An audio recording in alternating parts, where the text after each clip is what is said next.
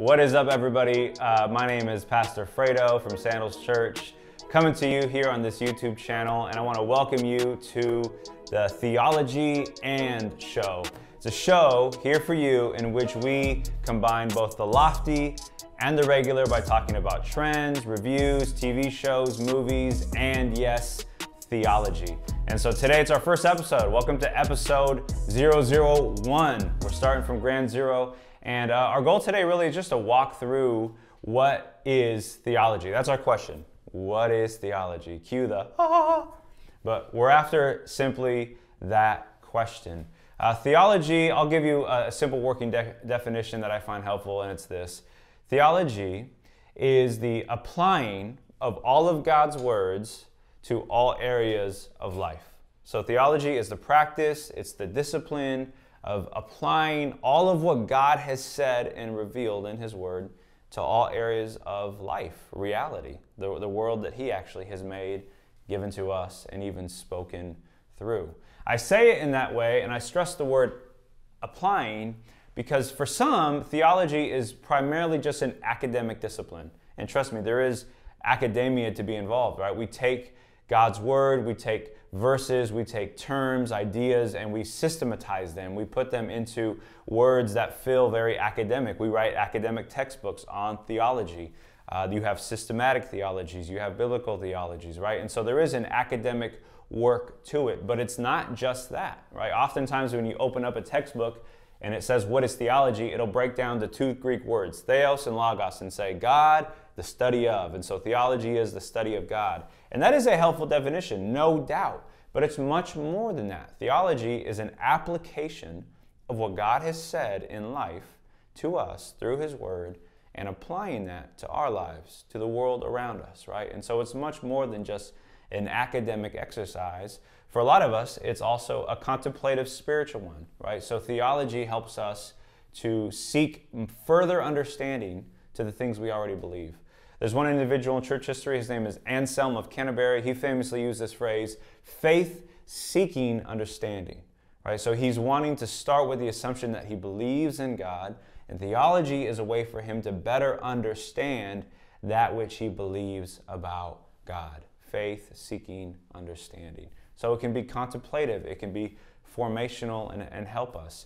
Uh, theology also is a way for us to um, correct both ourselves and the church, right? So, in that sense, theology is acting as kind of a, a measuring rod or a stick, if you will, that helps us to understand what the church is doing right, what it's doing wrong, how it might better proclaim what God's word is saying about all areas of life. Uh, theology can also be a bridge. Theology can be a bridge to help those who are unsure about Christianity or just learning about God or curious about God, right? Theology is a bridge in a way that uh, you think of traffic going both ways, right? So theology as a bridge serves as bringing content this way, bringing truth this way, but then also responding to truth coming this way, right? And so theology at times can be a way for people who maybe have struggled with God or heard wrong things about God or wrong things about what the Bible says. And theology can be corrective and, uh, and act as a bridge in that kind of way. Um, also, I think theology relates to uh, culture. Right? Theology speaks into the natural sciences, the social sciences, and also just what you and I experience within the culture of our lives and the cultures that we live in. And so that way we're taking God's word and we're applying it to um, areas of culture, whether it be um, what we hear in music, what we hear um, from education, what we hear from uh, media, right? Culture is simply uh, the environment in which all of what we produce is utilized and valued, right? And so theology speaks into that, that big playground, if you will. And I think that's what makes it really, really enjoyable because here's the thing theology is also contextualized for where we're at. Oftentimes, we tend to um, maybe learn a theology from a particular camp or a particular uh, vantage point and then we tend to think that that's the absolute perspective on all other vantage points, right? And I want to say, no, theology has its own limitations, right? And so think more of a landscape, this massive landscape in which we're all coming to theology with our particular vantage point and perspective and point of view and even time and place. And so because of that, theology is also a bit limited. And so it's important for us to maintain a kind of humble posture in which we can learn from uh, different kinds of theology uh, Roman Catholic theology, evangelical theology, Reformed theology, Lutheran theology, right? There's all kinds of different words that are attached to theology. And so I think a humble posture and approach as we think about ground level, what it is, is understanding that it's a landscape. And over the years, over the centuries, a lot of different people have contributed to it um, from their own vantage point, from their time in history, from their particular culture. And I think some of the best ways that we can do theology is when we take all of what God has said and we apply it to this particular moment that we find ourselves in.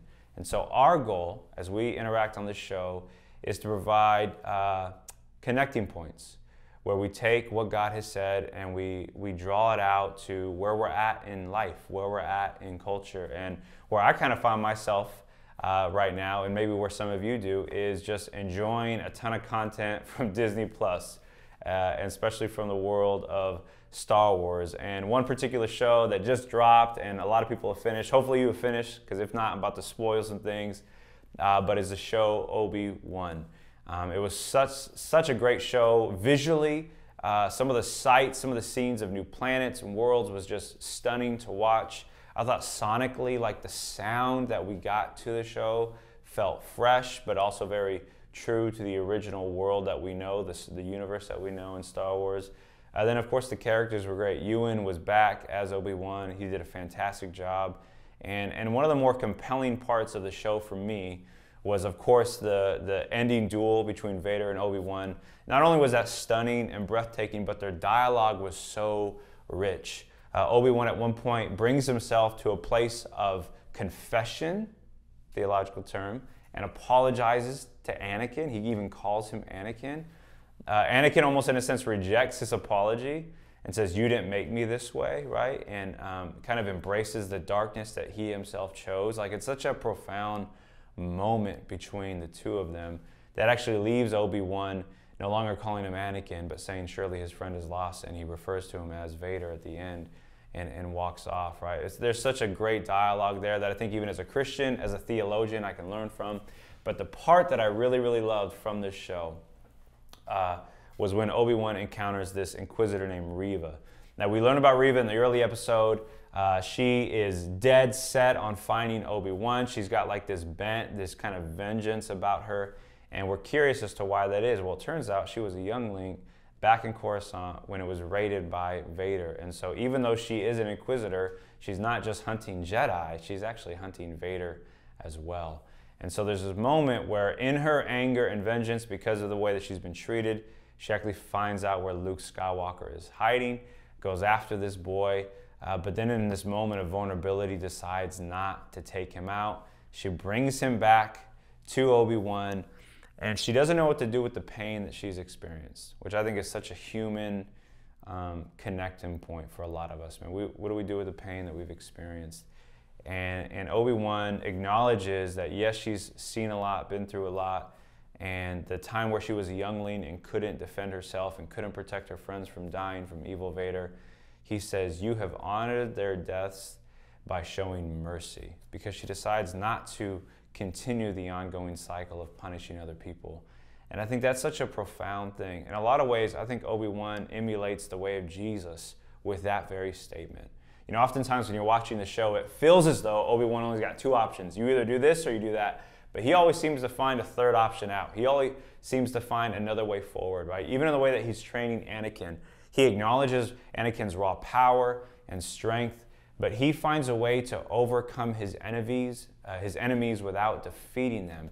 And y'all, I think there's so much gospel truth in that. Uh, there's so much theological truth in that about who God is, who's able to overcome his enemies without defeating them, but loving them, redeeming them, saving them. That's at the heart of the Christian message, right? And so when you think about theology as applying all of God's word to all areas of life, we just a little bit of theology right there.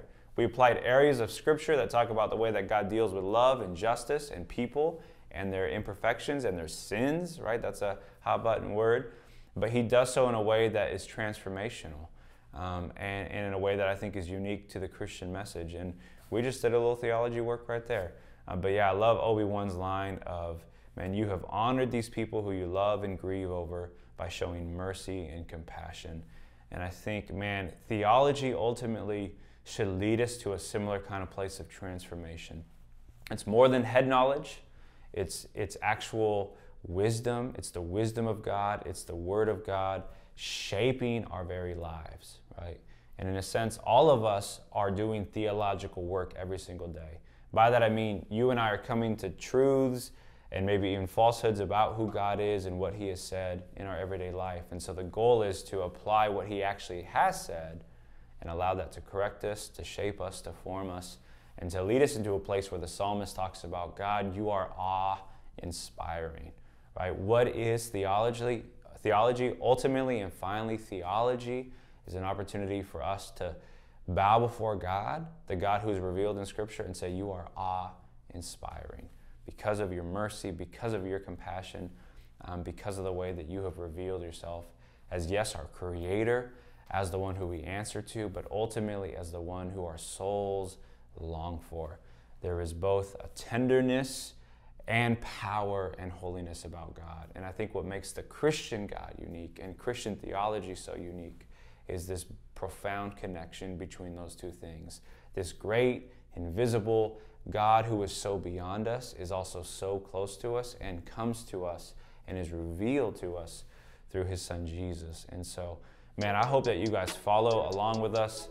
Theology and Show, we're going on a journey where we combine both, yes, the, the loftiness of God, the bigness of what theology can offer in teaching us things, but also connecting it to everyday life because, man, we want, we want to learn things, yes, but we want to learn things that actually shape who we are in our everyday lives. And so we're going to be talking about movies, we'll talk about sports, we'll talk about uh, why I think Kobe should be talked about in the all-time great conversation, along with all these newbie kids talking about Steph Curry. Yes, Steph is great, but yeah, we'll get into all of that. We hope you join us. Peace. Thank you so much for watching the Theology and Show. Please like and subscribe. Stay tuned to everything that we got going on. We have so much coming, and I cannot wait to get it out to you. So make sure to keep following us. Peace.